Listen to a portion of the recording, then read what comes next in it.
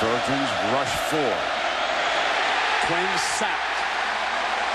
And breaking the pressure is Sedrick Ellis, the junior who missed a couple of games this year with an injury all over Brady Quinn.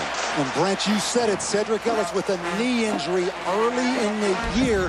He is the nose guard. Let's see if we can find 49 right here. Sedrick Ellis.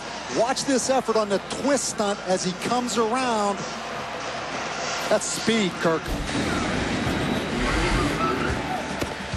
Crunch time for the Irish defense.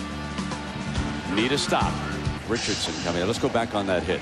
Well, when Ellis came around, Coach, he brought a lot of momentum with him and a lot of weight and came right down on top of Brady Quinn. And we check in with Lisa. Well, Brady Quinn definitely feeling that last hit. He uh, walked around uh, at the bench area for a couple of minutes. You could tell that he was in some discomfort trying to walk it off. But then he walked over to Darius Walker and said something to him. I didn't hear what he said, but he didn't look happy, and I'm wondering if maybe Walker missed a block there.